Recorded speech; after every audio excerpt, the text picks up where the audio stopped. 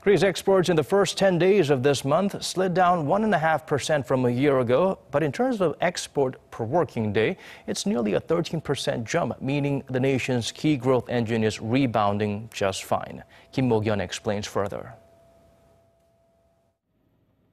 Korea's exports per working day were up 12.6% for the first 10 days of December on year, backed by strong exports of semiconductors and petrochemical goods. According to data provided by the Korea Customs Service on Monday, a total of 12.7 billion US dollars of goods were shipped overseas between December 1st and December 10th. The total figure is down 1.5% from last year, but experts say this was largely down to the number of holidays that fell within that period. Since many countries tend to rest a lot in December and only one third of the month has passed, I think it's hasty to come up with a judgment on the export trend at this moment.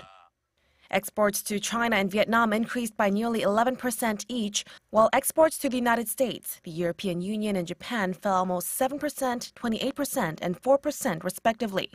Semiconductor exports saw the highest growth, surging 47%, followed by shipments of petrochemical goods and ships, which were up 45.8% and 12% respectively. But exports of auto and wireless communication devices both dipped by more than 30%. Imports, meanwhile, climbed 13.1% to $13.8 billion.